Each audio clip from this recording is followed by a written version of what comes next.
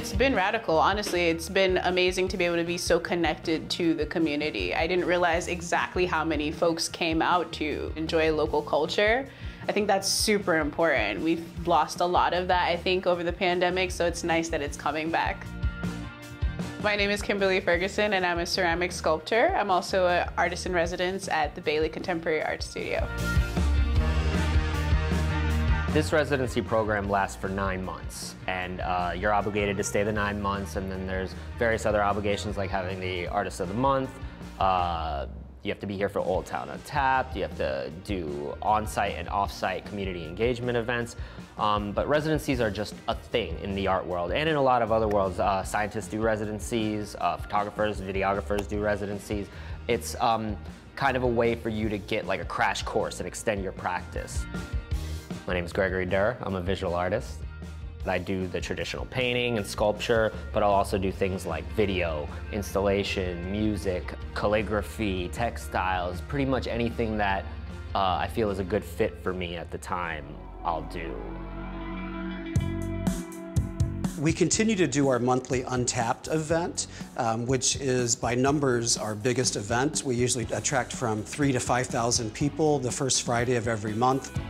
My name is Ty Tabing, and I'm the Director of Cultural Affairs for the City of Pompano Beach. I'm very proud of really the Artist in Residence program being revamped.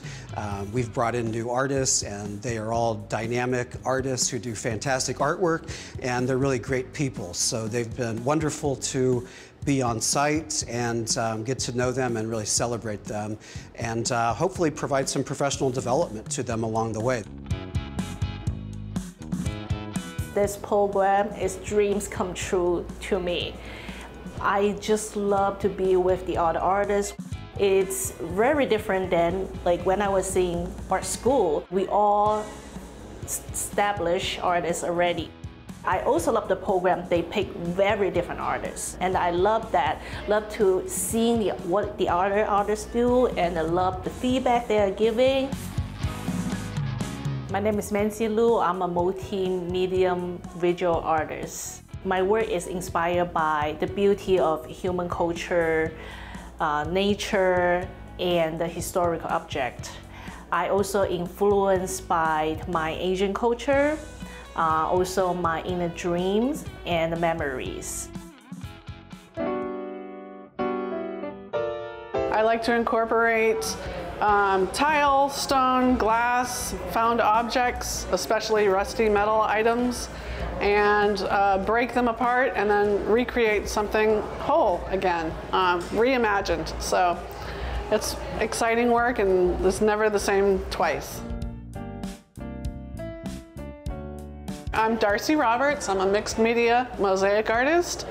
I'm a resident artist for eight months and this has been an incredible opportunity. I get to work in this historic building. The sunlight in this building is fantastic. Um, the people here treat us like rock stars, um, but really they just give us space and we bounce ideas off of each other and that's truly the magic of this place because normally we're home alone in our individual spaces and it's very isolating. So the, the fact that we can be here together, we connect and we learn from each other. I, I love the human figure. That was my first love. I, I learned to paint actually uh, drawing uh, cartoons and, and, superheroes.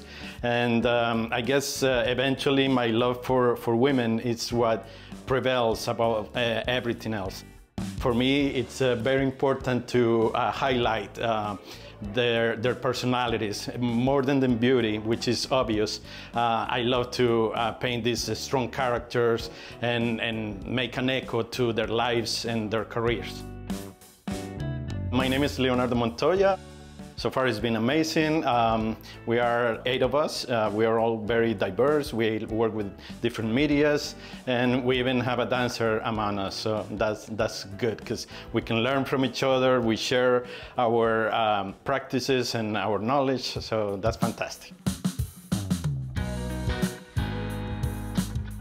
I am Shayna L. Woods and I use dance as a mode of meditation and movement I believe that we should all rest that we should all get somewhere and sit down, like our mothers and our aunts and grandmothers taught us to.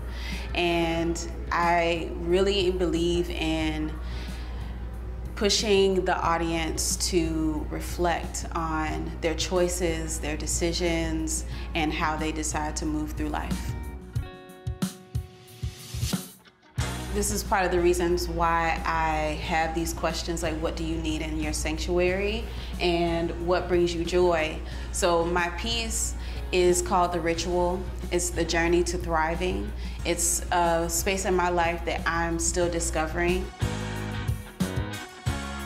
I thoroughly enjoy the people that I'm co-creating with everyone has their own voice and we share ideas. They've shared so many ideas with me of how I could use paint when I create, how I can use uh, mirrors or mosaic work. It inspires me to want to learn how to do it. And to me, that is a major goal. When you influence someone else who may think that, oh, that's not my ministry or my lane, as other people would say, then you've done a, you've done your job.